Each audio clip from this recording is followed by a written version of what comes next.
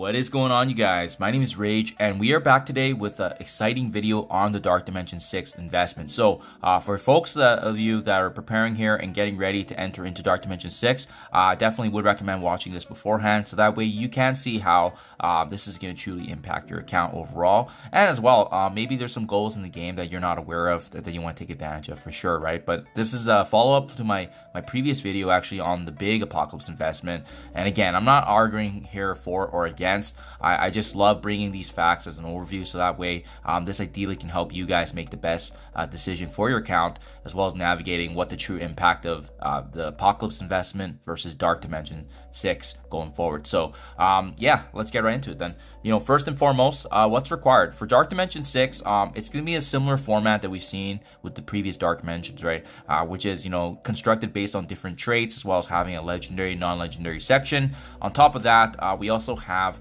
um, you know gear tier 18 being the newest um, and, and, and, latest upgrade here. So this is truly one of the biggest constraints. You need 20 ca characters at least in bare minimum with the gear tier 18 uh, and typically right now the only way we've seen this come about is through the incursion raids that you're doing um, purchasing manually from the supply store using gold or uh, even in the milestone events that we've seen. Uh, more specifically I think we've seen, been seeing this better come through the monthly events which has been nice. But again you need to capitalize and stay on top of the events to take advantage that gear uh, reward. The other one that's required is Apocalypse. You need Apocalypse as a character because it was designed for him being able to be playing in it, especially in the global section. I would say it's um, you know uh, it's a it's a true slugfest getting through the global section, and we're talking like 15, 20 plus attacks, um, you know, easily on a node if you don't have Apocalypse. So uh, also his value, right? Uh, he can be used in three different sections of Dark Dimension 6. That includes the any trait, the global, as well as the legendary horseman. So just a, a you're gonna get, be getting immense value even if you utilize Baby Apocalypse, which is who I brought in for the Dark Dimension 6 run. Um, and it's been huge. Uh, just having his presence and his abilities is a game changer. And then last but not least here, um, we need an insane amount of resources. So it's all across the board here. If you want to uh, be diving into this this end game goal, uh, it's a combination of gold, catalyst, uh, training gear, gear, um, gear tiers, and so forth. But I mean, this re actually requires planning. You need to be strategic in the different characters that you're bringing in because it can be very easily a bottleneck that you can set on your account that you're going to be dreading on uh, day after day, week after week. So uh, we have not seen this kind of constraint in the game in the previous Dark Dimensions, which is why it's extremely important to actually prioritize planning who you want to bring in. Uh, even planning to bring in a, uh, a character that's not as valuable uh, could be more strategic. Um, if, for example, how I brought in Ravager Stitcher because I needed tech gear to save on my uh, my cosmic characters. So um, that is actually a strategy. You know, uh, planning how that looks like and the characters that you're planning to bring in, as well as who's going to be uh, ultimately bringing you to the finish line, is is of utmost importance. Um, why invest? You know, why does this game mode matter? And that I think that's that's one of the big questions that you need to ask yourself if you're gonna be uh, going down this rabbit hole because uh, it's a super end game goal. I mean, you shouldn't be looking at Dark Dimension 6 unless you've had a really good handle in all your other alliance activities, all the other game modes that you're interested in. Um, you know, if you're competitive in arena and war, and as well as uh, ensuring that you're doing pretty good on your raids, uh, this is a game mode where uh, it's pretty hard to prioritize above the other game modes just because those other ones occur frequently. And remember, uh, Dark Dimensions, uh, they only reward you twice and that's it.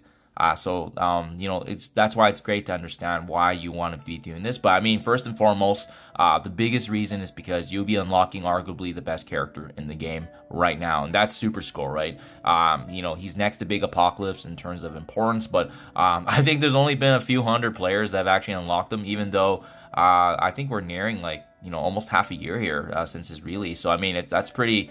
Uh, it's pretty um, you know insane to think about how how much of a, a bottleneck has been to for the Gear Tier 18s, but yeah, I mean, uh, the good news is that if you guys are unlocking him within a year, he'll likely still be uh, a hot commodity because a lot of players won't have him in the mainstream yet. So uh, he's a huge advantage in all game modes. Uh, he's in the current arena team meta, so that's gonna help you get more higher power cores. But he's just a super fun character to use. Uh, I, I, I can't wait to unlock him. I mean, I'm still working through my Dark Dimension Six progression, but um, just reading his kit and just the synergies he can have, the the amount of theory crafting he can he can be placed in with all, all these different teams is super fun to see. And I think that's one of the big things, right? And for me, it is a big end game goal. Dark Dimension has always been a passion because uh, to me, it's like the equivalent of you know a fantasy team that you can build up, and, and the amount of strategy. Um, the beauty of it is that you don't need a, a, a one slot team. Actually, most teams in the game aren't typically in the same trait. So it'll be pretty hard and difficult to do that. But uh, it encourages theory crafting. It encourages uh, folks to invest in certain team synergies and, and to see how that plays out with the the abundance of enemies that we're up against wave after wave. And then, um, yeah, and keep in mind too, um, the biggest investment after doing so is uh, you're going to get 20 powerful upgrades to our roster. I mean, I, I've already noticed that when I was finishing up the any traits and global section, uh, um, I got huge additions to my roster. I brought up, you know, Captain America, Captain Carter, who added to my raid value. Uh, bringing up Val, bringing up Kestrel, um, they just made my game all around better. Actually, Val's the difference maker for how I was able to get through the Mystic nodes uh, in the incursion raid. So I mean, you're just getting value all across the board. Kang was a big one for me um, because I could actually use him in the tech section as well for incursions. So at the end of the day, um, it's a big investment on this end game mode, but let's not forget uh, we are upgrading 20 powerful characters to our roster that can be used in incursions, raids, uh, war, crucible. Uh, all around, it does make our roster better. Um, so let's not forget about that. It's the this is basically the green light for us to pull the trigger on those characters, and I think that's sometimes lost in the noise when you when you think about how heavy of an investment Dark Dimension 6 is. So, uh, similar to my last video, I like uh, facts. I like putting numbers together and putting everything as a comparison, um, just because we can actually see apples to apples and and you know how this is going to truly impact your account, right? So, in the three columns I have here, I have the big apocalypse investment, which is the bringing up of the 23 characters from uh, Gear Tier 16 uh, to 17, which you need to actually get through Big Apocalypse, as well as ISO 8 Blue, but that's not covered here. We also have the start of Dark Dimension 6 in the middle there, which is the first five. And then finally, we have um, the full 20 characters investment um, to the far right, uh, assuming that you bring in 20 characters, no more, no less. So uh, it allows us to compare apples to apples now on how um, the, the, cost is overall across the board. So, I mean, if you can take a look at right, uh, 68 million gold is going to be required to just bring up and ultimately unlock Big Apocalypse. Um, to start Dark Dimension 6, you need about 21 million to bring five characters. And to wrap up Dark Dimension 6, you're going to need an ending total of 84 million. So uh, the reason I have these numbers populated here, so that way you guys can actually take a look at your, your account as well and see how you're doing for resources. Um, there's definitely some big ones I want to talk about.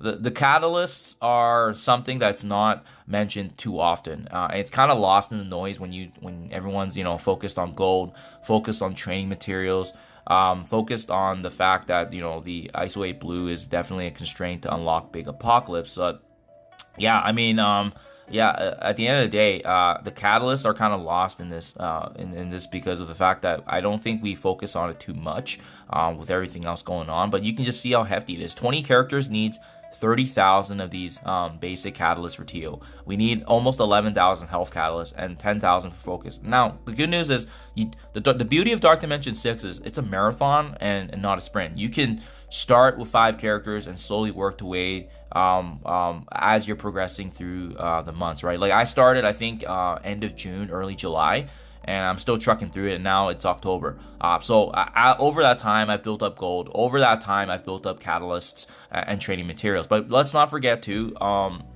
what is going to matter in your end game mode, right? And and the reason why I have this next to the big apocalypse investment here is so that way you can see apples to apples of you know what does big apocalypse cost versus Dark Dimension 6 if you're planning to bring up those 23 characters, right? Um, Big Apocalypse is half of the Dark Dimension 6 uh, catalyst. It's half of the health catalyst, half of the, uh, almost half of the uh, the focus catalyst, um, and as well the training materials too. It's a big portion, right? So um, actually, yeah, I, I, would say it's actually using more um, in proportion to the, the resources because you're bringing up, uh, look at all those resources that are needed, right? So at the end of the day, guys, um, you have to make that decision on what's best for your account. And you and the good news is you can look at these numbers and compare it back to your account and see how that does overall. But as you can see, um, that's why it's a big investment. I did this math earlier on and I determined that it was not feasible for my account um, to unlock Big Apocalypse. So I went ahead, I proceeded with Dark Dimension 6 uh, because it is one of the more uh, interesting and passionate goals of mine when I'm going through it, especially when I'm free to play. I want to see if I can get it done and if I can uh, rank as a free to play player and see how other free to plays uh, uh, do as well.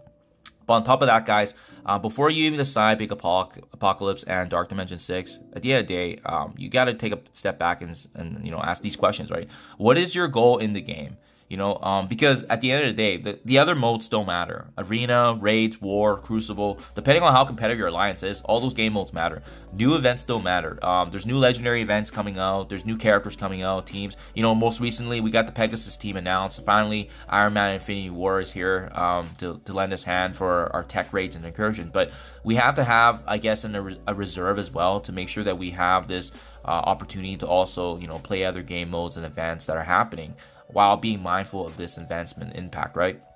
And then lastly, guys, uh, the big thing I wanted to mention as well is uh, updates, right? There's a new progression system coming. So ideally, um, this gear tier requirement um, for the gear uh, ideally, it should be less scarce. We should be getting more of these resources farmable, so that way it's not as constrained. That way, that way we're not having to decide so much. But um, yeah, uh, overall, um, please take a look at your account. Please review what your goals are because at the end of the day, I think all these are really important. Big, Big Apocalypse is important. Uh, Dark Dimension is important, but so do all the other game modes. And at the end of the day, uh, it really just depends on your goals. And that's kind of why I took a step back and and proceeded with Dark Dimension because uh, for me. Um, Big Apocalypse would have been fun, but I, I'm more excited about the strategy involved in Dark Dimension. Even if I don't have the upper hand with Big Apocalypse, I really actually enjoyed the global section and kind of you know um, unweaving that puzzle with the team I had and plus baby apocalypse. So I hope this helps you guys give uh, get a summary of the cost and, then the true impact. But remember um, everything in this mode is a marathon. Uh, we don't need to be rushing through it. And at the end of the day um, you know we are going for that big uh, prize, which is Super Skrull himself. And, and at the end of the day, remember um, 20 characters, Gear Tier 18, Apocalypse, and Uh, effective resource planning is what's going to bring you to the finish line. So, thank you as always, you guys. Do let me know what you think in comments below. I always appreciate hearing back, and I'll catch you guys in the next one.